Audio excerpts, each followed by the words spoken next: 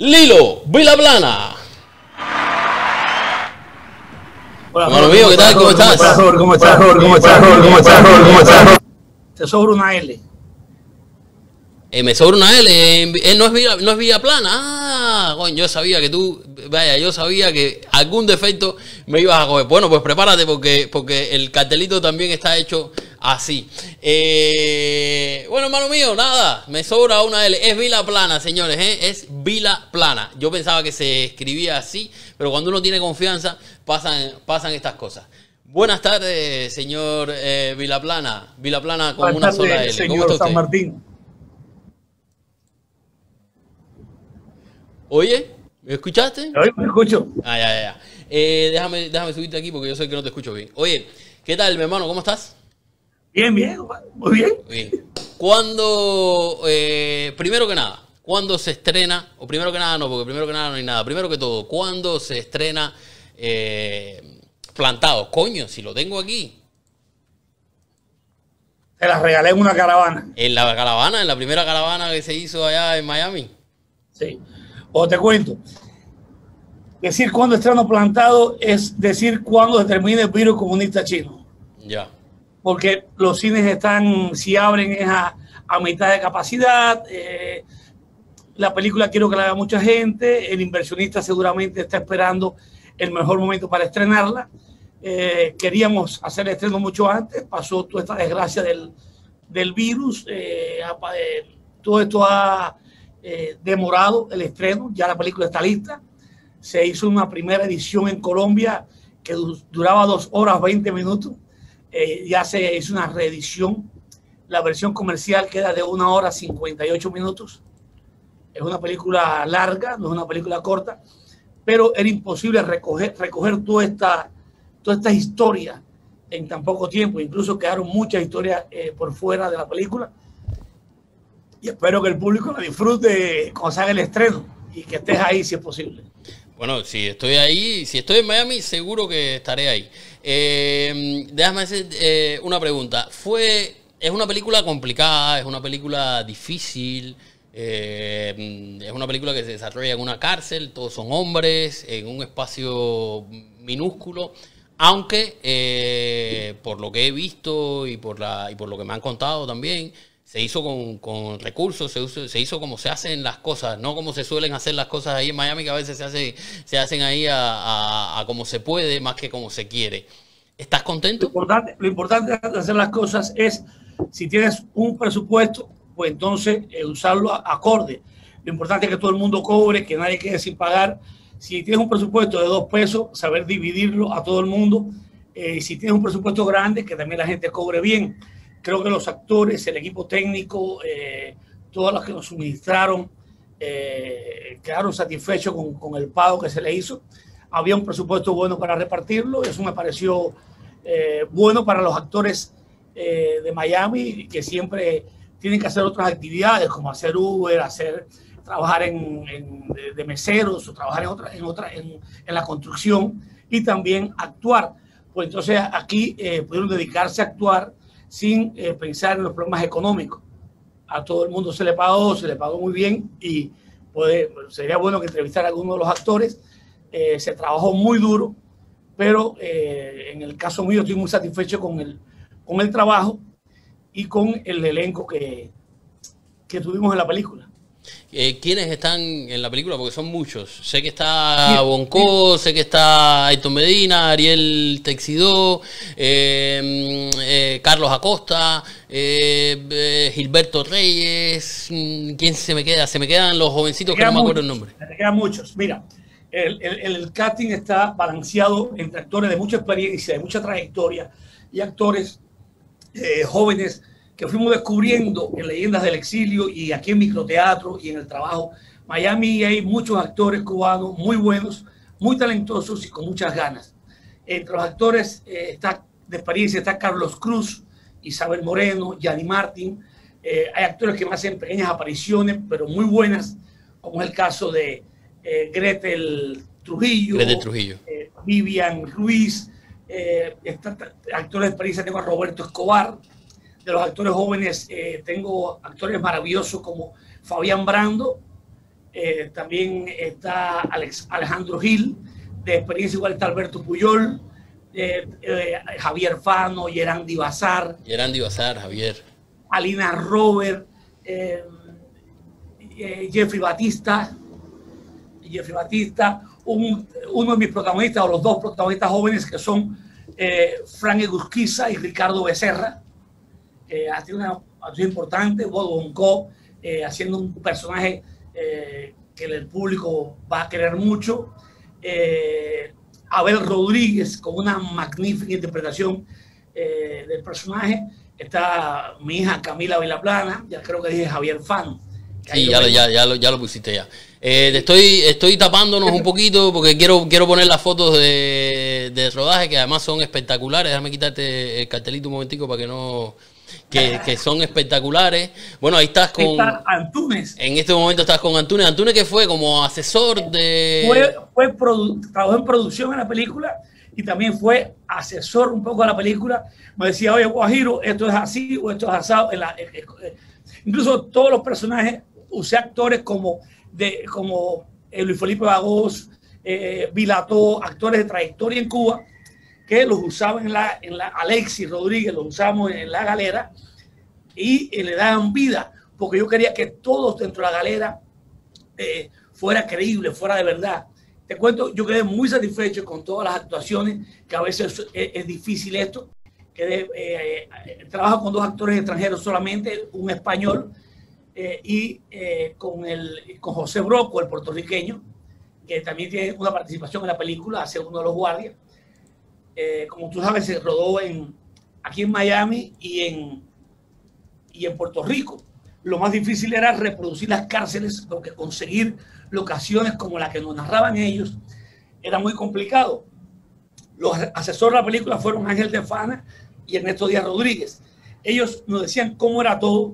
Por ejemplo, el director de arte, que fue magnífico conseguirlo, Guillermo Media Villa, se sentaba con los, con los presos de verdad y le preguntaba cómo es cómo es una gaveta, cómo es una tapiada, cómo es eh, la galera, y tú buscas las medidas, y, porque hay que apelar a la memoria de ellos, porque en foto no queda casi nada de esto, eh, o sea, no existen. Eh, déjame, déjame interrumpirte un momentico, porque yo sé que, que, que, por supuesto, tú conoces la historia, mucha gente en Miami conoce la historia, pero también sé que hay muchísima gente, muchísima gente que no tiene ni la menor idea de quiénes son los plantados, de qué se trata la historia de los plantados.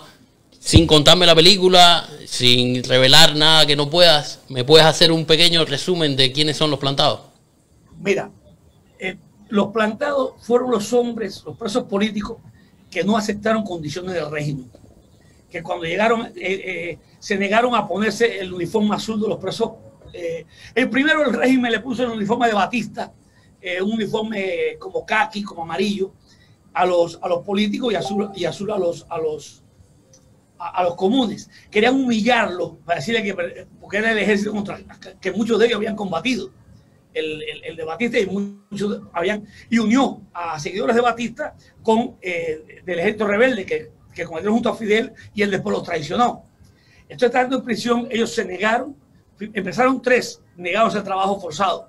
Luego se sumaron otros 24 y luego más y prefirieron quedarse en calzoncillo que negociar con el régimen. Hay una historia tan, tan fuerte que conmueve, no está en la película, pero puedo contarle para que vean el nivel de interés a los plantados, que fue Mario Chanes de Armas. Mario Chanes de Armas estuvo preso 30 años, más que Mandela. Estuvo en el, en, el Moncada, estuvo en el Grama, estuvo en la Sierra, estuvo con, con, Castro y cuando, cuando triunfa se da cuenta que el comunismo y él, él eh, renuncia a, a, seguir con esto, Castro lo mete preso y lo condena a 30 años. 30 años de privación de libertad. Estando preso su único hijo, Mayito, muere. Y él le dijeron que pudiera a la funeraria y se ponía el uniforme azul y no se lo puso. No fue a despedirse de su hijo. Ya con este cuento, cuántas historias pues de estos hombres que no claudicaron, que no tuvieron la interés de no, eh, de no negociar con el régimen, de no negociar con el régimen, de, historia de un hombre que le tocaba caminar 100 metros con el uniforme azul para obtener la libertad y decía, no me lo pongo y no camino. Y, estaba, y, lo, regresaban a la galera y regresaban a la galera. O sea, son historias muy fuertes. Eh, yo me motivé enseguida cuando vi la... claro, claro, claro que te tienes que haber motivado porque tú eres un plantado. Llevaban, llevaban 22 años, 22 años querían hacer la película, o más. Hablaron con un escritor francés, hablaron con Hollywood, eh, y siempre que los plantados leían el, libreto, eh, Ángel de Fal, Ernesto Díaz Rodríguez, Perdomo, Maqueca, todo ello, junto a, al inversionista Leopoldo Fernández Pujal, que era eh, sobrino de un preso plantado, de José Pujal Medero, ellos querían hacer la película, pero no podían traicionar a, la verdad histórica. Entonces siempre los guionistas tiraban a la izquierda, a pasar la mano al régimen comunista, y esa no era la idea. Con Leyendas del Exilio, en estos días Rodríguez Ángel de Fana deciden hablarle a, a, Leopoldo Fernández Pujal de mí. Fui a, un yate, conversé con él, estaban todos ahí, estaba Marcel Felipe, y nos dimos la mano. Es la única vez que he visto a Leopoldo Fernández Pujal, todo más por teléfono, por, por chat. Eh, pactamos un presupuesto para hacer la película y ya está la película hecha. No, te decía que es lógico que te hayas eh, identificado con el guion, porque tú eres un plantado. Tú eres uno de los tipos que eh, más consecuentemente ha llevado su posición contra la dictadura. Tú lo decidiste un día, dijiste, esto es lo que hay, no me corto el pelo, no me dejo de vestir de negro y no regreso jamás a Cuba mientras haya dictadura. Y lo has llevado así, así. Esa ha sido tu vida desde hace no sé, no sé, 20 años. 23 años. 23 años hace que está fuera de Cuba. en enero 24. Eh, en enero va a ser, va a ser 24 años. De, de alguna forma, el hilo, ¿estás contando también tu historia dentro de esta película? Eh, no. Los protagonistas son ellos.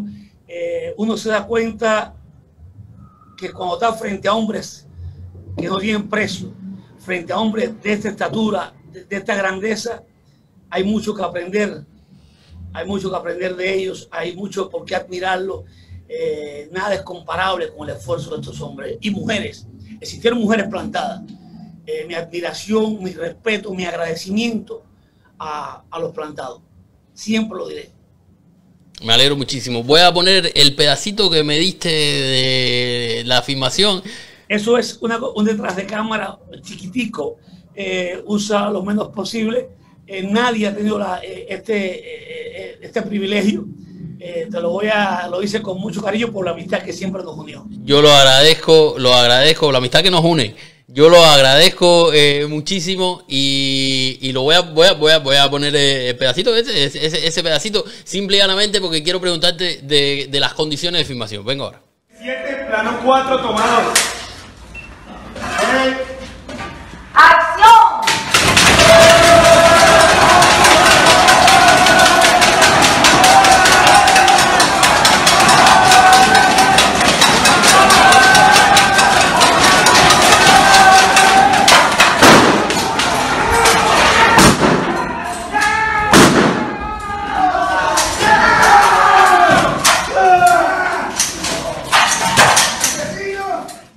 No quise poner más porque yo sé, yo sé.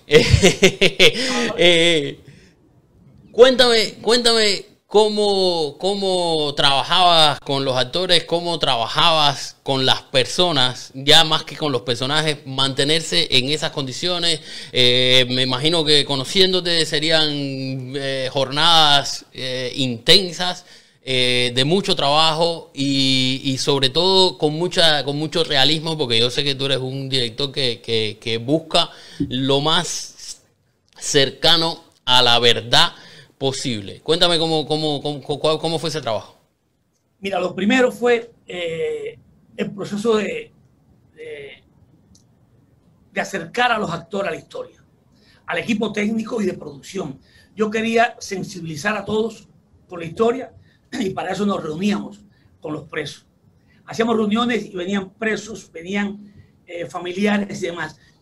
Tanto así que un día llegó una señora a ver lo que estábamos grabando y me dijo, a mi cuñado le pasó esto. Se bajó corriendo a buscar el, el sombrero y lo metrallaron. Le dije, eso está en la película. Empezó a llorar. Entonces, estas personas empezaron a hablar y buscamos personajes que tuvieran que ver con algunos de los actores. Y los actores iban preguntándole, preguntándole cómo es estar en una gaveta, cómo es estar tapiado, eh, qué pasaba con los familiares, hablaban con los familiares, nos daban charlas educativas, los, presos políticos a nosotros. Y ahí empezamos a trabajar. Los actores eh, empezaron a adelgazar. Eh, a veces peleaba mucho yo con, con mi esposa Iracema, que era la productora ejecutiva, porque en la escena de la Laguna de Excremento lo tuve desde las 8 o 9 de la mañana hasta las 3, 4 de la tarde. Eh, yo no comía nada igual que ellos, estaba cometido ahí, pero había un compromiso tal de esos actores en calzoncillos, hacinados. Ya la, cárcel olía a cárcel. Tanto así que a veces llegaban los presos a visitarnos y el, todos los presos, los presos actores aplaudían a los presos de verdad. Y un día Albertico Puyol vino a dar la mano, vestido de verde olivo, de guardia, a dar la mano a un preso de verdad y el tipo lo rechazó, porque se metieron en el ambiente de la película. Estaba todo muy, muy, muy elaborado desde el momento del arte, eh, el cepillo de dientes, las bandejas de comida, se mandaron a buscar a Cuba, se consiguieron, se sacaron de Cuba. Eh, las ropas fueron como las contaron ellos. Entonces, eh, los actores fueron se creó una disciplina de trabajo. Y, y, y, eso, buscar las relaciones, cómo te llevas tú con este, en qué cama dormirías. O sea, hay todo un, un trabajo detrás de lo que va a ver el público en la, en la película. Eh, me preguntan desde el chat que si la vas a estrenar en España o, o, en Europa en general, que cómo se puede ver los que, los que están en Europa. O que una estamos. vez, sí, una vez se estrene en, aquí en Miami, que es el, la primera sala, se está buscando, se está hablando con un distribuidor en Europa y en otras ciudades, pero eh, estamos seguros que, que va a verse en muchos lugares y luego iría a una plataforma. Ya, a una plataforma tipo Netflix o algo Amazon, así. Netflix, de HBO, una plataforma. Ya, ya, porque ahora en, esto, en estos tiempos, sobre todo con el lío del coronavirus y todo eso, creo que es una buena opción para que llegue lo más lejos Pero posible. sería bueno, sería bueno estrenar en cine primero, en la pantalla grande, que eh, hablando con los colombianos, que la edición se hizo en Colombia, en Fox, Camilo Escobar, el editor, eh, Carlos Andrés, Santiago, todos ellos me dijeron, la vieron en pantalla grande, me dijeron, tienen un película, no, no, como dicen los colombianos, Coño, un bueno. película, no, no, Qué bueno. que me gusta mucho porque al ser colombianos que editaron, que trabajaron la película, que la están viendo y les interesa como tema, entonces es un tema que no solamente para los cubanos, es un tema universal. De eso nos encargamos desde el guion. Eh, dediqué horas a la, a, la, investigación, a hablar con los presos, a leerme todos los libros del presidio. Eh, tenemos asesor, como te dije, Ernesto Díaz Rodríguez, Ángel de Fana. Eh, una vez tuve estructurada la película, que ya tenía toda la historia, eh, pensé cómo la acerco al presente para que no quede solamente la anécdota en, la, en lo que ya pasó. Entonces la película arranca con un expreso político ya mayor que se encuentra con el hombre que los torturó en la prisión, con el esbirro, aquí en Miami. ¿Qué hacer? Venganza o justicia. Porque siempre eh, los presos políticos, han, a pesar de haber sido castigados, eh, torturados psicológica y físicamente, han, abogado por eh, la justicia, no venganza. Entonces él se debate entre la justicia y la venganza. Por eso busca a dos hijos de presos, de presos eh, políticos que sufrieron por este mismo virus para eh, retenerlo y hacerle un juicio moral.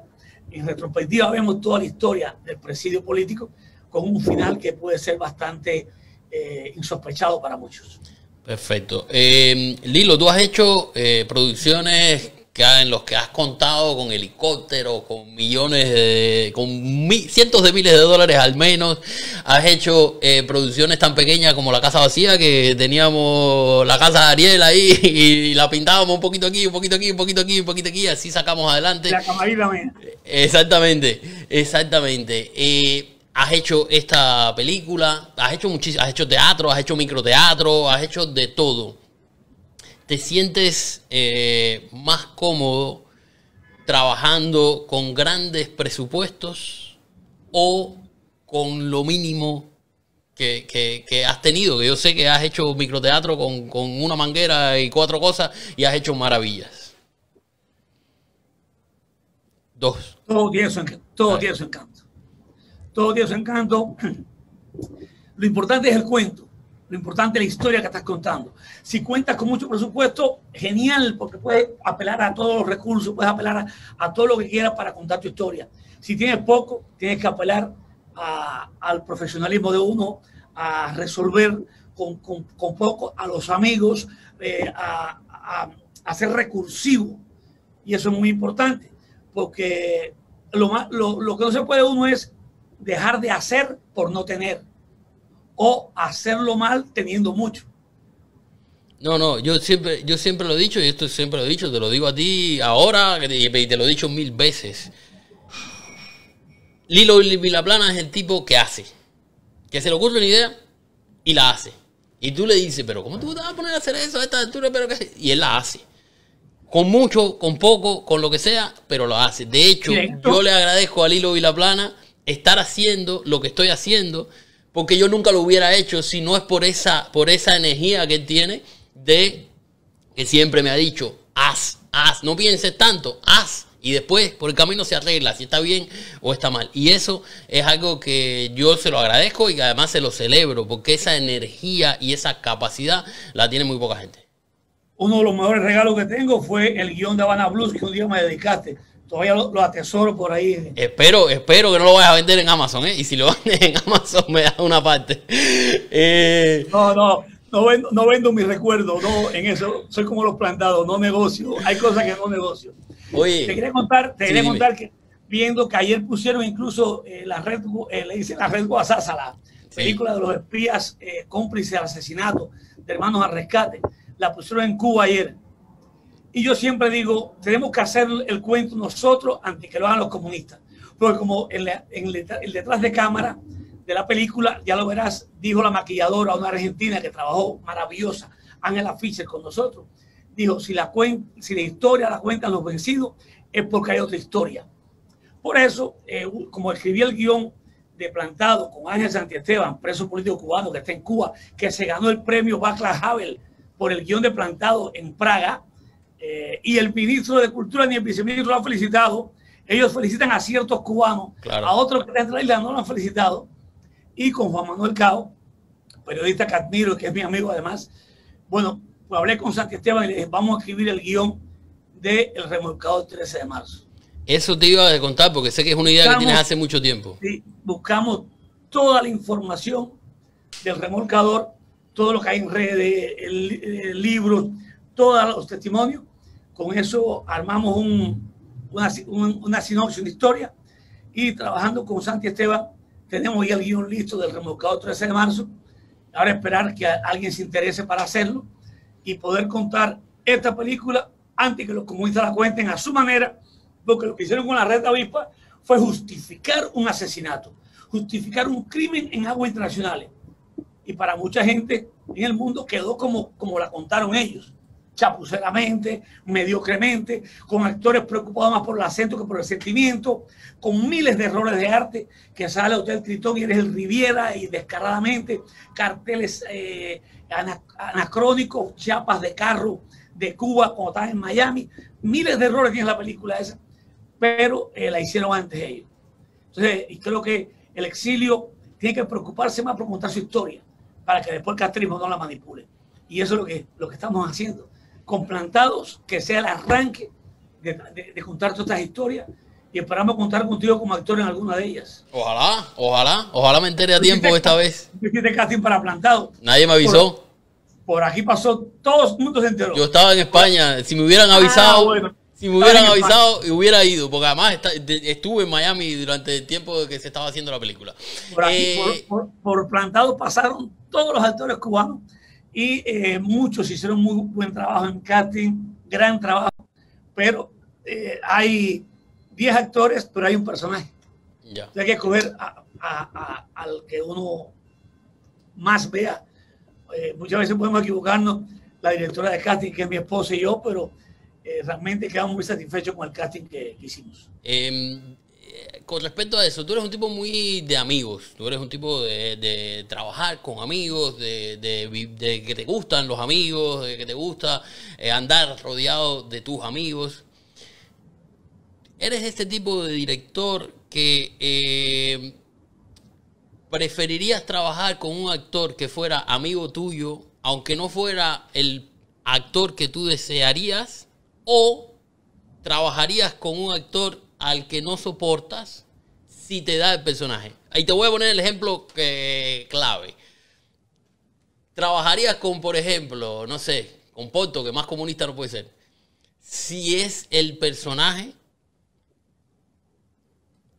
a pesar de que fuera un actor de este estilo, de, esta- de este- de estos actores que, que- que- que son lamebotas, por decirlo de alguna Bueno, manera. eh, no me gusta trabajar con cómplices de la dictadura. No me gusta, pero lo he hecho. Lo he hecho. Eh, eh, he trabajado con actores, vamos a decirle cómplice de la dictadura porque es un amigo, un amigo que de pronto está, eh, eh, vive dentro de Cuba, no critica el régimen, tiene un festival, es el caso de Jorge Pérez Gorría. Es un actor que ha trabajado conmigo, trabajó conmigo en Cuba, en Dando Vueltas, hizo Robin Hood un día Dando Vueltas, trabajó una serie en Cuba que se llamaba eh, Esperar que crezca, yo era asistente de dirección. Eh, tenemos una gran relación, eh, con él casi nunca, o sea, no tocamos el tema de la política, pero lo llamé a hacer La muerte del gato. También lo llamé a hacer 20 en shock en Colombia, eh, y fue y lo hizo. Luego mi esposa lo llevó a hacer Lynch, una serie en Colombia, y la hizo. Lo llamé La muerte del gato, que era un texto complicado, un texto que, que, que descontaba la verdad de lo que pasó en los años 90 en Cuba, y él lo hizo. Que, que seguramente se ganó un regaño, no sé, nunca, nunca he hablado del tema con él. Eh, yo le dije, así como mismo un actor policía, puede hacer una persona que no está de acuerdo con el régimen. Las historias están para ser contadas. Pero creo que él, eh, la tolerancia la ha tenido, eh, eh, está demostrado en- en este caso. Perfecto. Traje a, a Coralita Veloz a hacer la muerte del gato, una actriz que ha hecho de, de- de policía en Cuba. Y Sí, bueno, pero me, me refería a eso. Eso es la respuesta que me estás dando es perfecta. Eh, Lilo, eh, cuando, bueno, todavía, todavía estás tratando de vender la idea de hacerlo del remolcador 13 de marzo, ¿verdad? Sí, el guion está listo, eh, está, aquí, está aquí esperando por un inversionista o varios inversionistas. ¿Por qué no? De personas que se acerquen y digan, mira, eh, eh, yo quiero hacer la película, me interesa hacer esto eh, y, y ojalá se pueda hacer. Eh, en Miami hay muchas personas con la capacidad económica para hacer esto y creo que la historia de Cuba merece la pena contarla y más ese acto, ese asesinato, e- esa cosa tan cruel. También tengo un guion que estoy trabajando con Jorge Sotolongo, que es sobre los camionautas. Sobre Ah, sí, ese guion, ese guion yo lo leí. Bueno, la primera, la primera versión. La primera escaleta. Sí, incluso se ha hablado de tu nombre, eh, Roberto, eh, para, para, para eso. Se ha hablado de tu nombre y es una película que sería un tema universal, porque todo el mundo sabe de los cubanos que se van en balsa, pero es más todo el ingenio del cubano, cómo hacer este camión balsa, cómo echarlo a navegar y cómo, cómo conseguir esas cosas dentro de Cuba. O sea, es una película que puede ser eh, dura, triste, pero también un poco divertida, porque nuestra, nuestra vida en Cuba o la vida en Cuba es tan absurda que, eh, que es casi de, de- de- de demente. si Claro, en surrealista.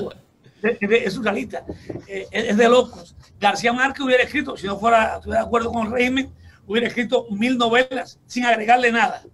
Sí, la, sí. muerte del gato, la muerte del gato fue una historia real que me pasó a mí. Exactamente.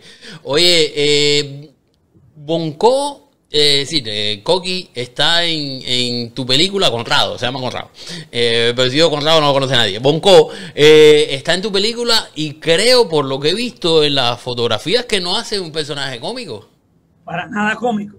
Personaje dramático que es un chis- chispazos que te puedes, eh, porque Conrado tiene una gracia natural, se ganó el personaje.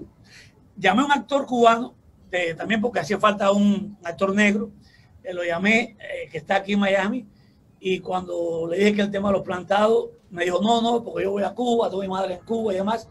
Y no, no aceptó. Empezamos a hacer casting, a buscar, y un día le digo a, a Iracema, ¿y por qué no probamos a Bonco?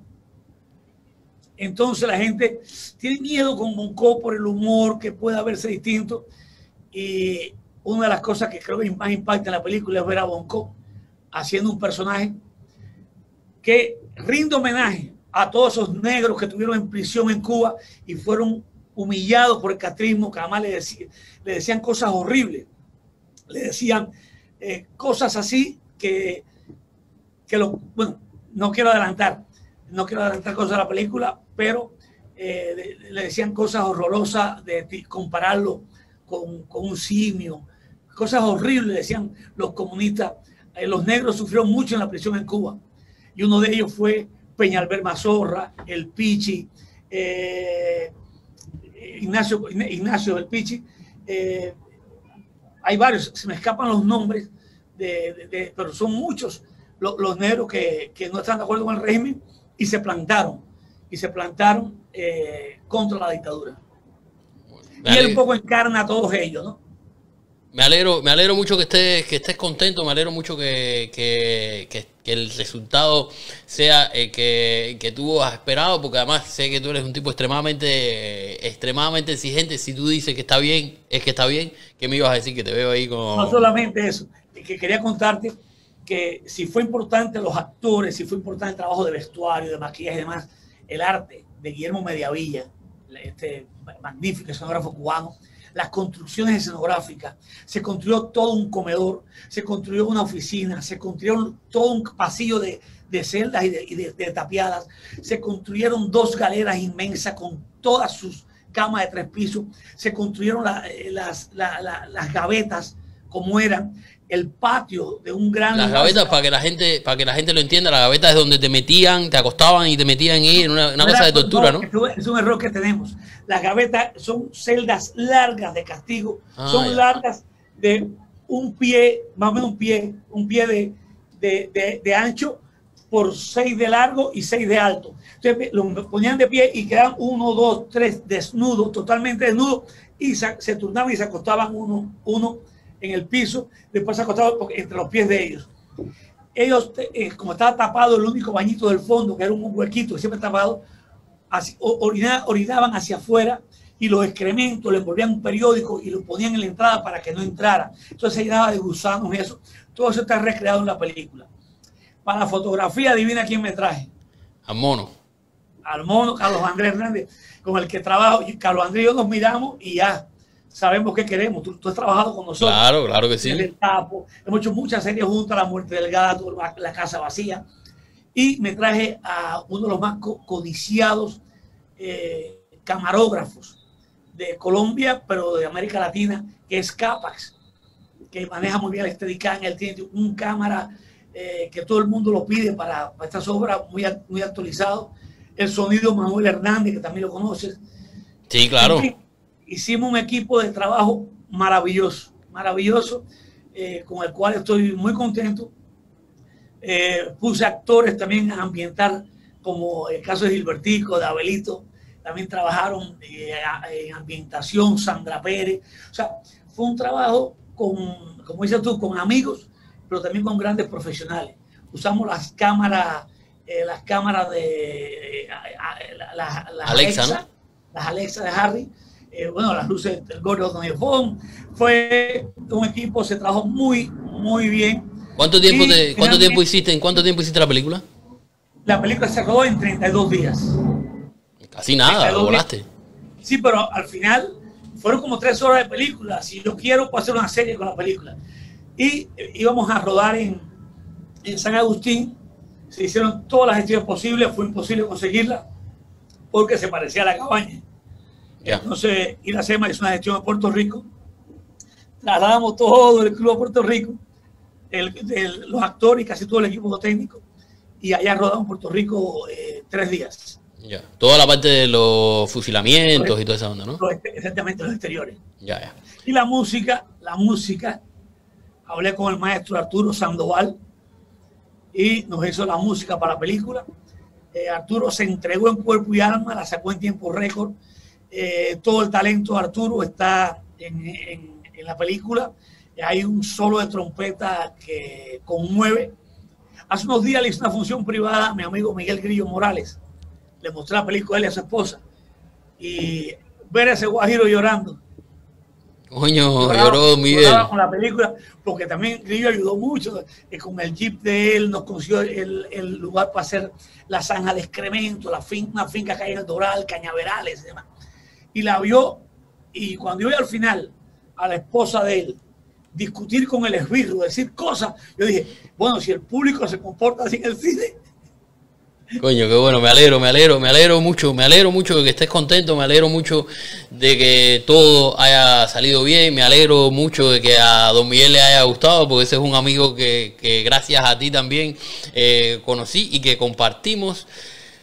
Espero que si no haces una segunda parte de plantado, porque no, no creo que vaya a hacer una segunda parte de plantado, pero bueno, en el 13 de marzo, en el 14 de abril, en el 17 de noviembre, en cualquier fecha de esas que podamos volver a, a compartir eh, trabajo, porque a mí me gusta trabajar contigo y yo sé que a ti también te gusta trabajar conmigo, aunque... Te mando un beso. eso es una declaración de amor. Roberto. Eso es así, eso es así. Tú sabes que eh, eh, el amor y el odio se parecen mucho, pero se, se, se, se complementan. Yo te quiero, tú sabes que te quiero. Y yo también sé que tú me quieres. Te mando un abrazo, te, le mando saludos a Iracema, a Camilo, a todo eh, el mundo por allá. Si ves a Mono también, mándale un abrazo de mi parte. Y te agradezco muchísimo, muchísimo, muchísimo que hayas estado aquí, que hayas accedido a hacer esta entrevista, que me hayas dejado poner este pedacito de, material. Y te aseguro que el día del estreno, si estoy en Miami, voy. Y si no estoy en Miami, haré todo lo posible por ir. Te lo aseguro. para terminar como empezamos, eh, estoy tan feliz con los actores de los presos como los guardias. Carlos Acosta hizo tremendo trabajo, me encantó Carlos Acosta y todos los actores, estoy feliz. Eh, para terminar, recuerden, no es Villa Plana, es Vila Plana. Vila Plana, Vila Plana, es Vila Plana, Vila Plana, esto, esto ahora me va a costar una pila de años diciendo, porque tú me pusiste Villa Plana y tú sabes que era Vila Plana. Y te juro por mi madre que tuve la duda y decía, y Vila Plana, es Vila Plana, Villa Plana, no sé, y ya, ya no me daba tiempo. Estas cosas se hacen muy rápido. Yo no tengo equipo eh, Vila Plana. Te, te mando un abrazo, te quiero mucho. Saludos a las niñas y a Alicia. Dale, mi hermano. Un abrazo grande. eh, de tu parte, lo- la saludo. Te, te mando todas la- las cosas buenas de este mundo y estaré ahí en el estreno. Muchas gracias. Bye bye.